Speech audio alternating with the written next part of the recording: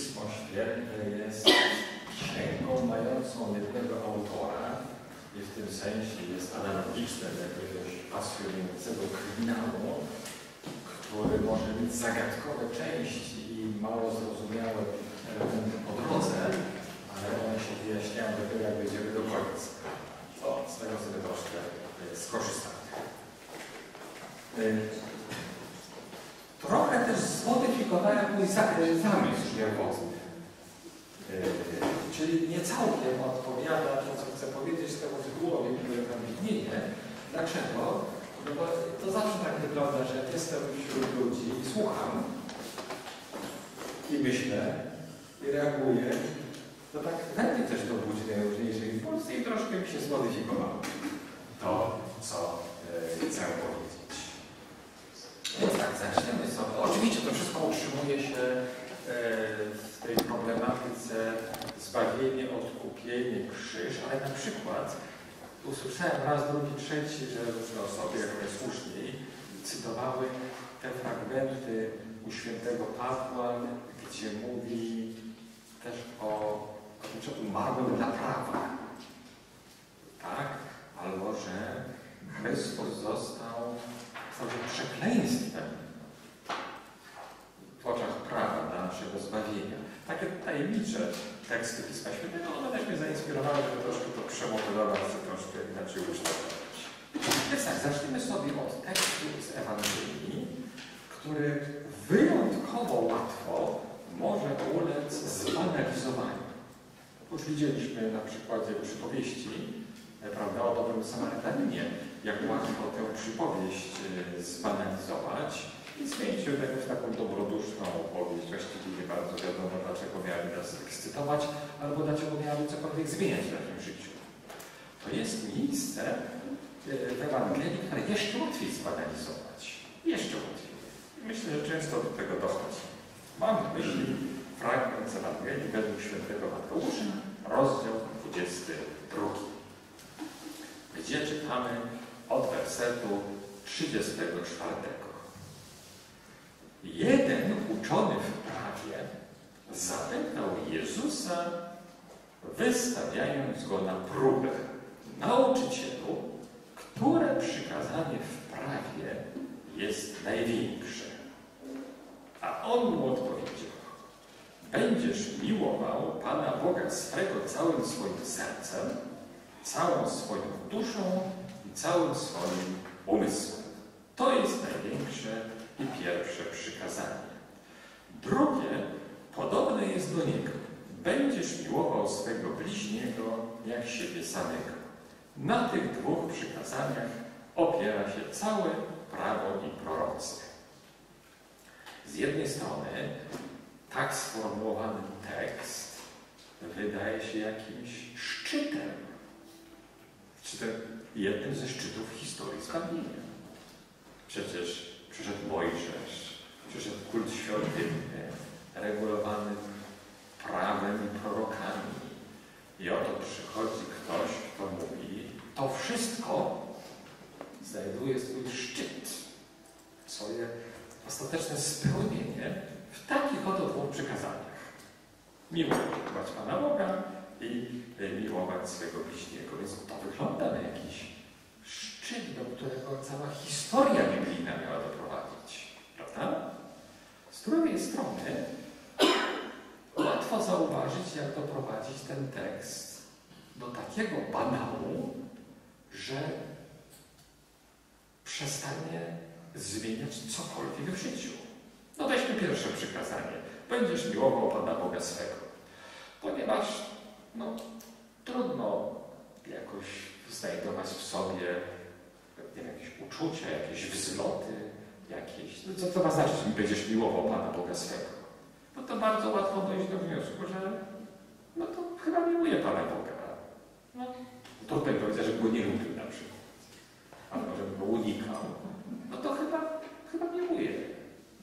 No chyba tak. A że z całego serca, całą duszą, całym umysłem, to są takie poetyckie dodatki. Generalnie miłuje Pana Boga. No tak, chciałbym miłować i chyba miłuje. Co do drugiego przykazania, będziesz miłował swego bliźniego jak siebie samego, to chyba każdy z nas, jeżeli ma jako takie doświadczenie wspólnotowe, to każdy e, był świadkiem, jak je jeszcze łatwiej zbanalizować.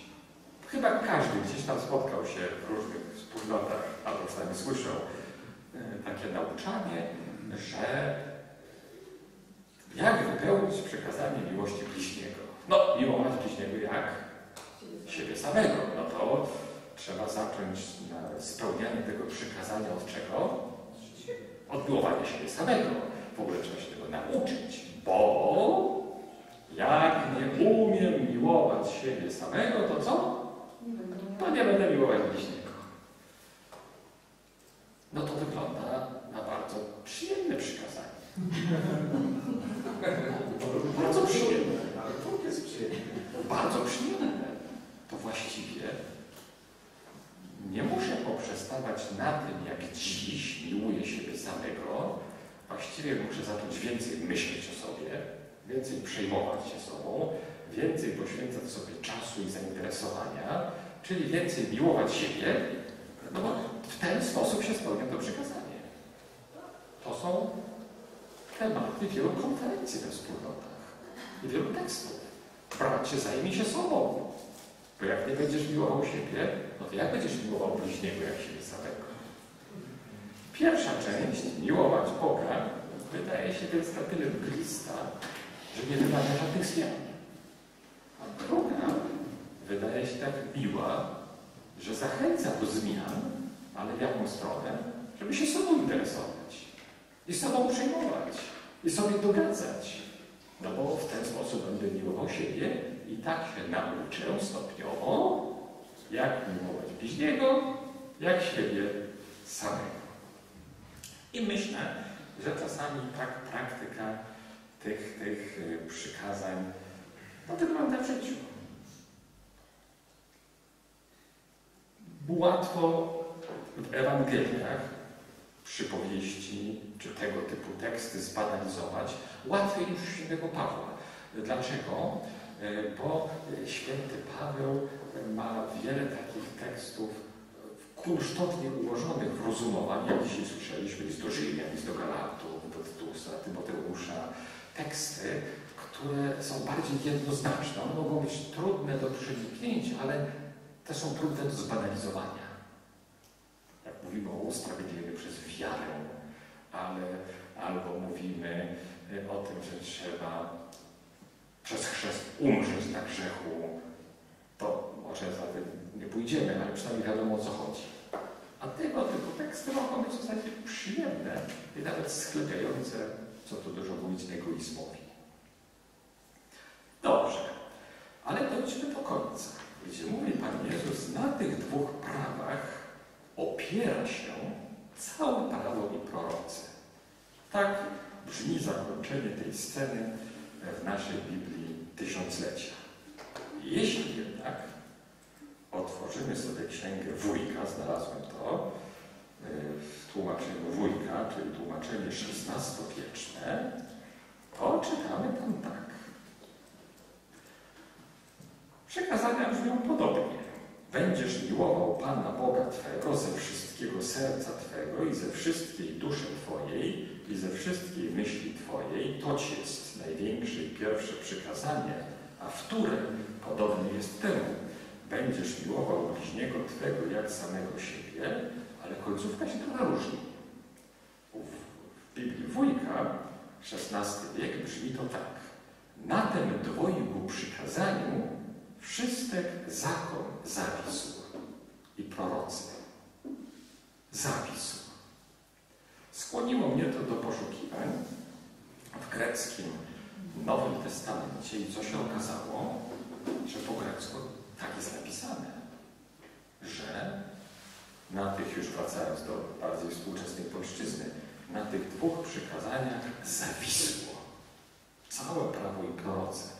Pewnie dzisiejszemu tłumaczowi Ewangelii Mateusza wydało się to po prostu niezrozumiałe, jak to zawisło. No chyba raczej się opiera niż zawisło, bo tak. Tymczasem słowo zawisło to nie jest jedno z, ze słów, z wielu słów do wyboru. W Grece biblijnej, Starego i Nowego Testamentu, to jest słowo bardzo specjalne i odnosi się do pewnego sposobu wykonywania wyroków śmierci. Może teraz taka dygresja. Ona ma pewną analogię do polskiego słowa wisielec i powiesić kogoś.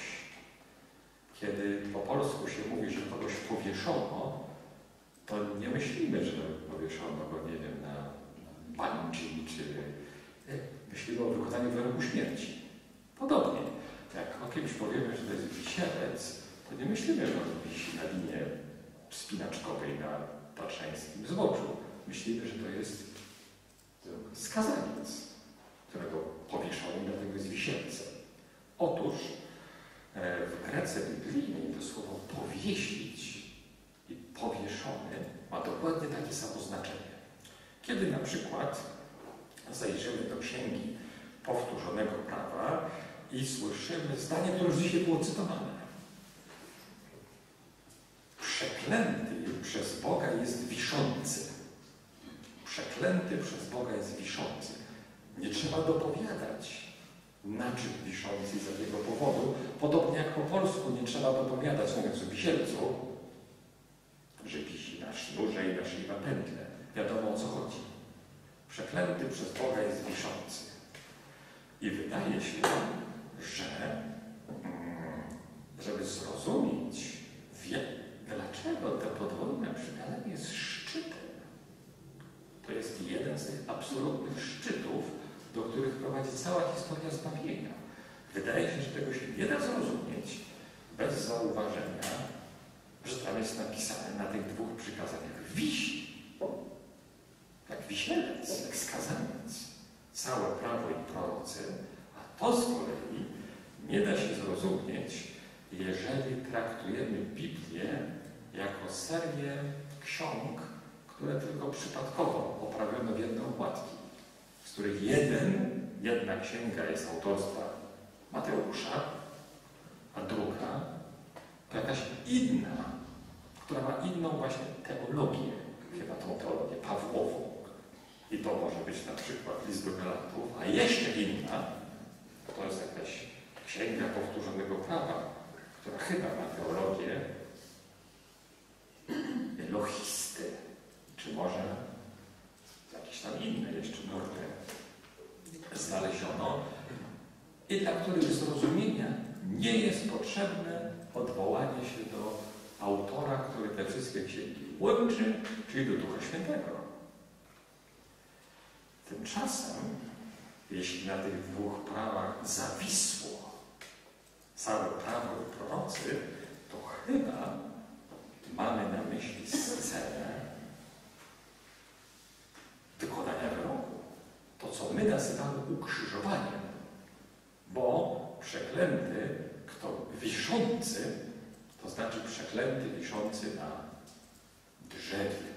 Zawieszenie na drzewie, czy w postaci rzymskiej, e, ukrzyżowanie z rękami rozłożonymi, czy w postaci bardziej starożytnej, wieszanie na innych sposoby. Tak czy inaczej chodzi o wisielca, którego dla wykazania z wyroku umieszczono na. To przyjrzyjmy się jeszcze raz temu tekstowi i zobaczmy, czy rzeczywiście jest to tekst zwalniający z obowiązków. Wystarczy jakoś mgliście miłować chyba Boga, i zwrócić więcej uwagi na siebie, żeby być, żeby osiągnąć szczyt, szczyt objawienia. Zwróćmy uwagę na ten tekst. Będziesz miłował Pana Boga całym swoim sercem. Czy to jest w ogóle możliwe do wykonania?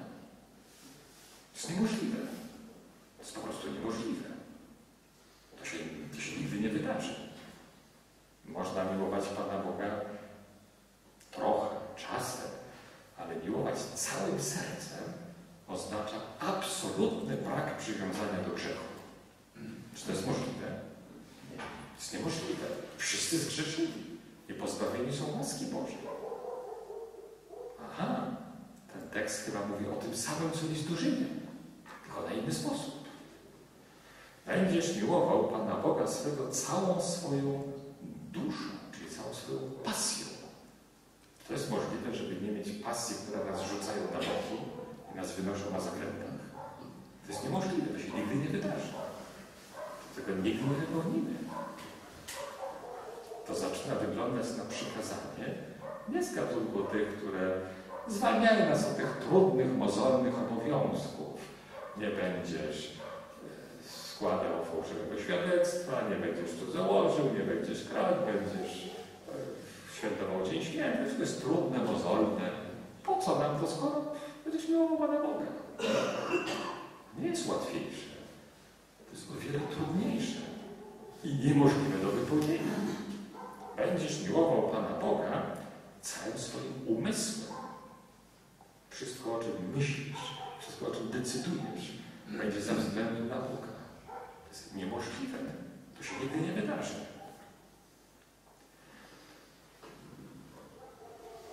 I to jest pierwsze i najważniejsze przykazanie, które, jeśli dobrze mu się przyjrzeć, leży absolutnie poza zasięgiem człowieka. I czy czasem nie o tym mówiliśmy od rana? Jedna, i druga, i trzecia konferencja, że wszyscy zgrzeszyli i pozbawieni są łaski Bożej, jeżeli nie żyjemy w raju, jeżeli żyjemy w zaburzonej, turbulentnej naturze i że żyjemy pod grzechem. O tym mówiliśmy. Przykazanie, które jest niemożliwe do wypełnienia. Chyba, że przyjdzie ktoś skądinąd i to prawo, to przykazanie wypełni. Kto? Pan Jezus. E, już był włączony ten, ten wątek Najświętszej Maryi Panny. E, co z nią? Najświętsza Maria Panna wypełnia to przykazanie, że tak powiem, niesamodzielnie, tylko z łaski. Mówi przecież wyraźnie, ratuje się duch mój w Bogu, Zbawcy moim, czyli to, co mam, mówi Maria, otrzymam jako nadzwyczajny dar zbawienia, czy wybawienia. Wybawienia od grzechu. Nie od grzechu, który zaistniał, tylko od grzechu, który nie zaistniał. Tu może dygresja. Scott Hahn, taki biblista amerykański, ilustrując właśnie bezgrzeszność Świętej Maryi Panny, przytoczył taką historię z czasów, kiedy jeszcze on był kiedyś pastorem protestanckim i był na takich spotkaniach modlitewnych w tym stylu protestanckim, gdzie wiadomo, ludzie tak głośno się modlą.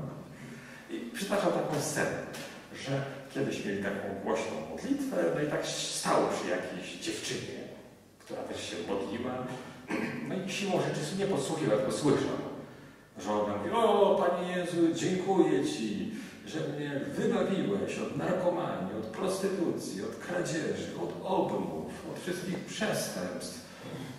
A tak słucham, ja ustawam.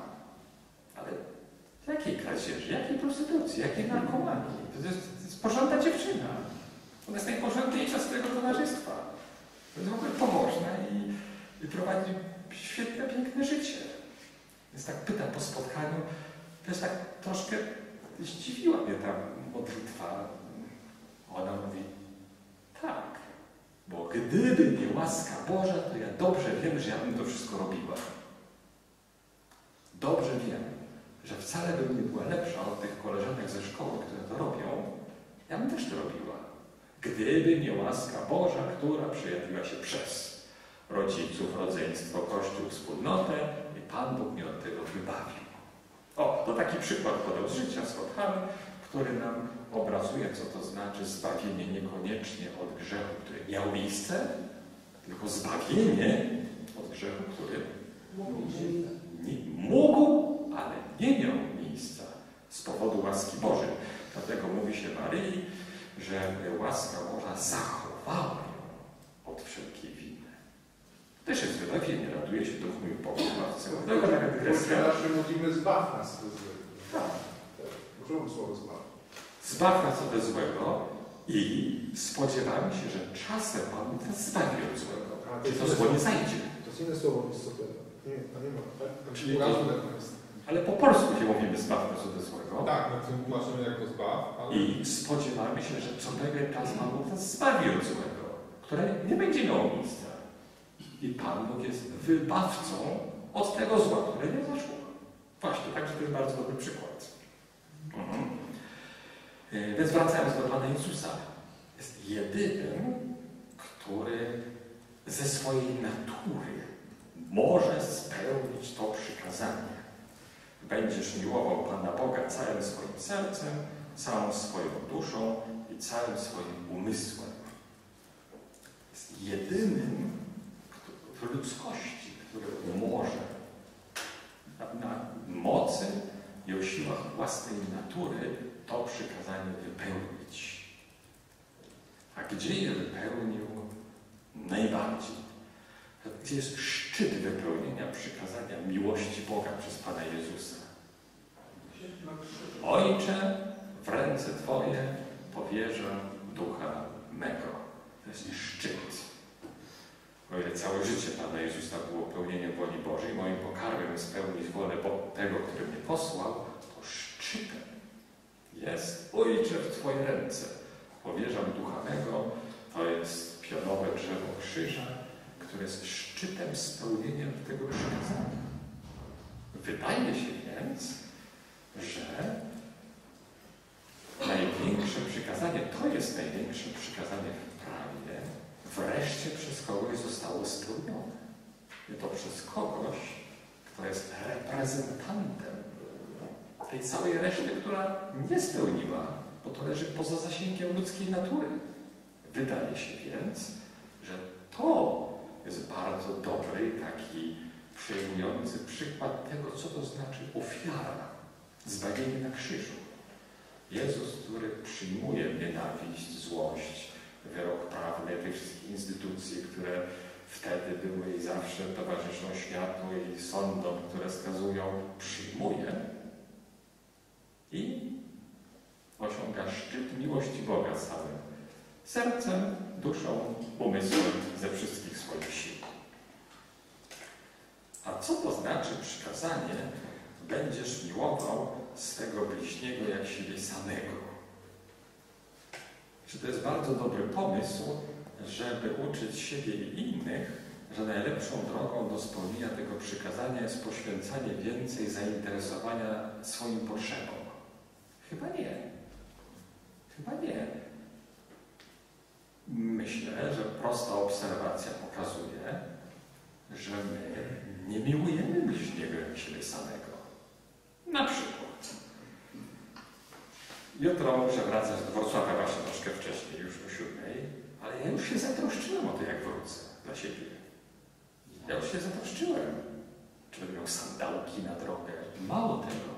Ja już muszę się przyznać. W czasie przerwy pojechałem napełnić bank benzyną. Dużo pomyślałem. Kiedy zrobiła się dziewią- dziewiętnasta, pomyślałem dla siebie, że jestem głodny, chyba muszę pójść na dół. I tak dalej, i tak dalej. W domu mi się kurtka, bo mogą nadejść chłody. Cały dzień, od rana do wieczora jest napełniony myśleniem o sobie. Ja nie wiem, że to jest coś złego, to są po prostu fakty. Są realia życia. Czy ja tyle samo czasu poświęcam temu, że inny jest głodny, albo że nie ma kurtki na zimę? No może, to kiedyś mi się zdarzyło. Jak przyjdzie tam, będzie mnie na ulicy, to zniosę mu zapasową kurtkę. Ale to nie jest ten sam stopień zainteresowania. To jest radykalnie inny stopień zainteresowania. I znowu ten prosty przykład pokazuje, że miłować bliźniego siebie jak, jak siebie samego to jest niemożliwe do wypełnienia. Niektórzy się do tego zbliżają. Mieliśmy w naszej diecezji zmarłego niedawno e, księdza Jerzego Marszałkowicza, który był założycielem tych ogólnopolskiej sieci domów schronisk Pana Alberta. One powstały we Wrocławiu, potem się rozpowszechniły na całą Polskę, tych domów dla schronisk dla bezdomnych. On mieszkał z tymi bezdomnymi od 81 roku, to jest prawie 40 lat.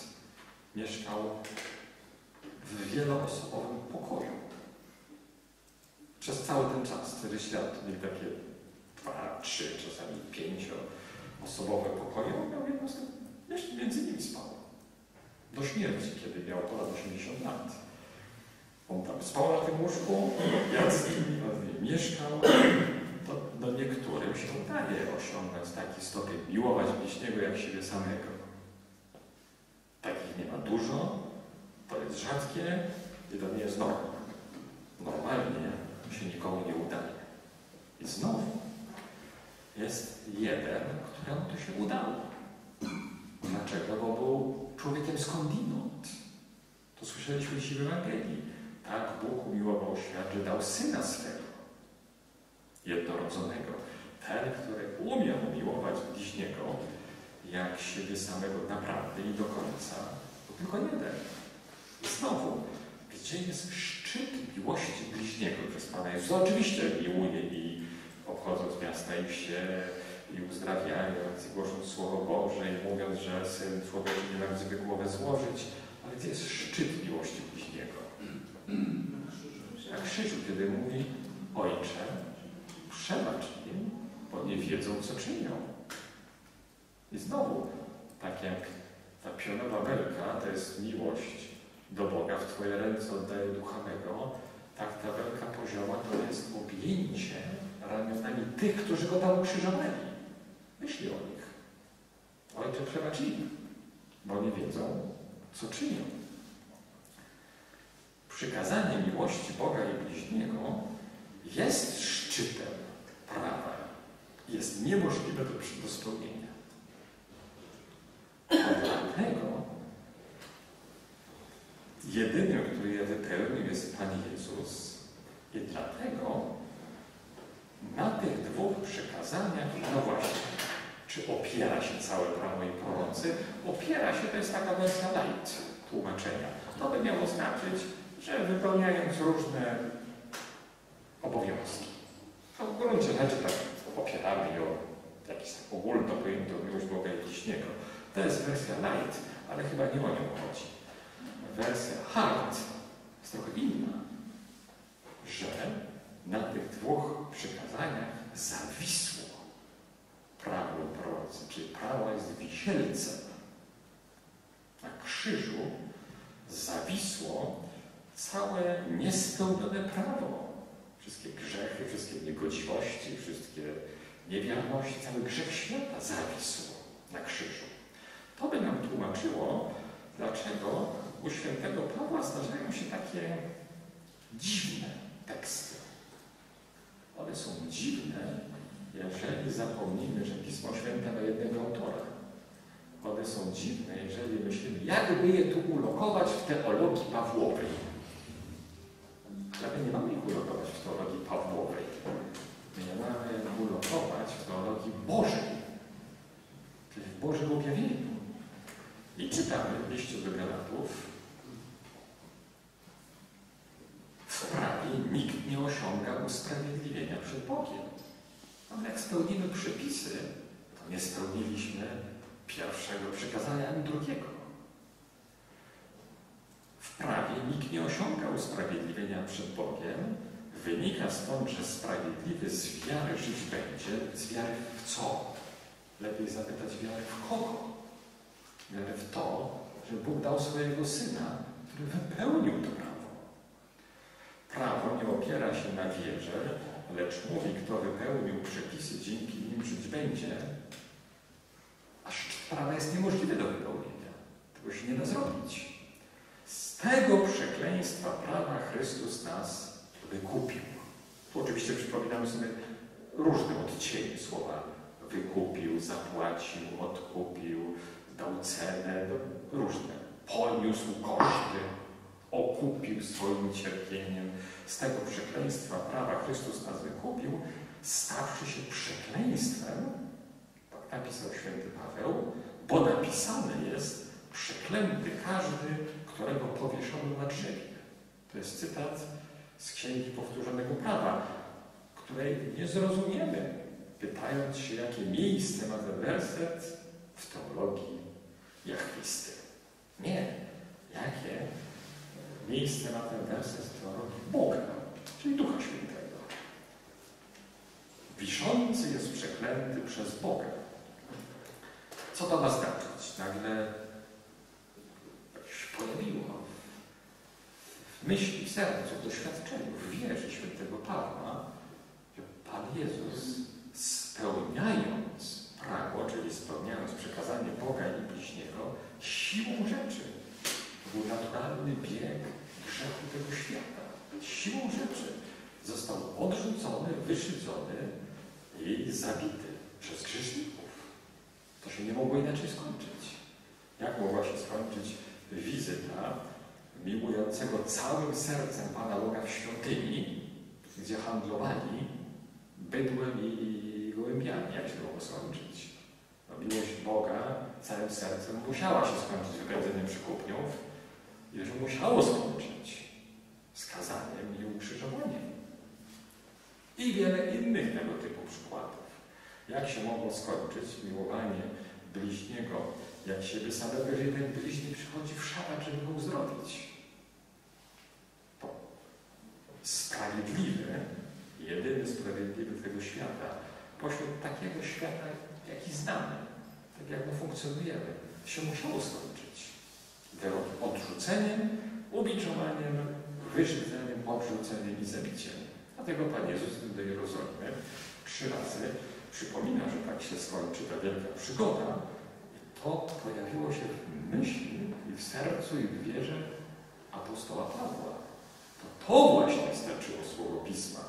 Przeklęty, każdy, kogo powieszono, przeklęty każdy wisielec, to znaczy te wszystkie przekleństwa, te wszystkie niewierności grzechy zostały usprawiedliwione. Bo nasz przedstawiciel, członek naszego rodu, naszej rodziny, święty Paweł, prawda, nawiązując zresztą do pogańskich nawet poetów, że z jego, jego, czyli Bożego rodu jesteśmy, ale ostatecznie chciał doprowadzić do tego, że z Bożego rodu jest Pan Jezus. I jest też z ludzkiego rodu, Syn Boży i Syn Człowieczy. I On to wszystko wypełnił. I w ten sposób rzeczywiście wypełniło się prawo. Co do Joty, nie myślcie, że przyszedłem znieść prawo, nie przyszedłem znieść, ale wypełnić. Wypełnić przez wypełnienie tych przykazań, których wypełnia się całe prawo. I skończyło się ukrzyżowaniem i w ten sposób z tego przekleństwa prawa Chrystus nas wykupił, stawszy się dla nas przekleństwem, bo napisane jest przeklęty, którego powieszono na drzewie, uważajmy, aby błogosławieństwo Abrahama stało się w Chrystusie Jezusie udziałem pogan. Z tego, co wyglądało jak przekleństwo, spłynęło błogosławieństwo. Dlatego wspomniałem o tych dwóch stylach ikonicznych przedstawiania Chrystusa. Na pewno ten obecny dominujący styl, taki przedstawiany męki Chrystusa, ma swoje miejsce i swoją wagę, ale nie możemy zapomnieć o tym drugim stylu, który przedstawia owocność, a owocność się w świetle promiennym, albo w tych listkach i gałązkach, jak w kościele świętego Klemensa, albo, to pamiętam dobrze z Armenii i z Gruzji, i z Irlandii też, ale Armenii i Gruzji najbardziej, armeński i gruziński krzyż od średniowiecza, bardzo wczesnego średniowiecza, VII-VIII wiek do dziś. Jest to krzyż kwitnący. To jest krzyż, który rośnie. To jest krzyż, który z obrys krzyża, a wewnątrz są gałązki, listki i owoce. On przynosi owoc. Oto dlaczego? Bo z tego przekleństwa spłynęło błogosławieństwo i to błogosławieństwo stało się w Chrystusie Jezusie dziełem pogan, abyśmy przez wiarę otrzymali e, obiecanego ducha. Dlatego nie zawsze nowsze tłumaczenie Pisma Świętego ma same zalety. Akurat w tym fragmencie wydaje się, że tłumaczenie Wojka, które ma ponad 400 lat, jest po prostu lepsze.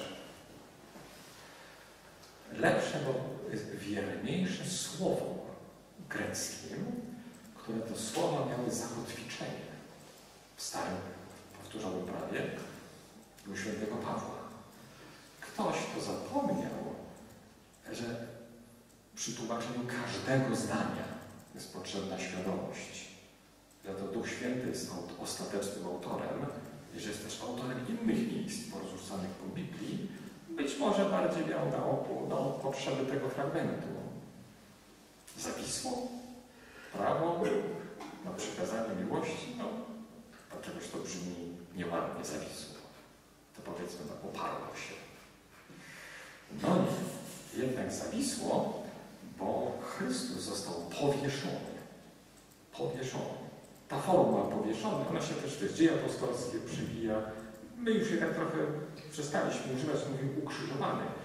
Y, To też jest jedna z opcji biblijnych, ale kiedy zawsze mówimy o ukrzyżowaniu, to troszkę straciliśmy kontakt z tą frazeologią y, wieszany na drzewie jako sposobu wypełnienia wyroku śmierci. I w Starym Testamencie, i w Nowym Testamencie. O, to taka refleksja y, na wieczór, troszkę chwaląca stare tłumaczenia XVI-wieczne, a troszkę y, być może jakoś też podsumowanie tego dnia, y, w którym możemy zrozumieć, co to znaczy wypełnić prawo, co to znaczy w tym sensie stać się przekleństwem pod tym prawem, po to, żeby nas uwolnić od przekleństwa prawa, bo to jest jedno z określeń zbawienia. Jedno z określeń zbawienia brzmi tak u apostoła, że Chrystus nas wyzwolił z niewoli prawa, czyli wyzwolił z niemożności wypełnienia prawa tak, żeby się Panu Bogu podobało i Pan Bóg zamiast czekać, aż my to zrobimy, bo tego nie zrobimy, zesłał pomoc w postaci łaski, żeby to mogło stopniowo zacząć się dać i to się nazywa łaską odkupienia, zbawienia i usprawiedliwienia.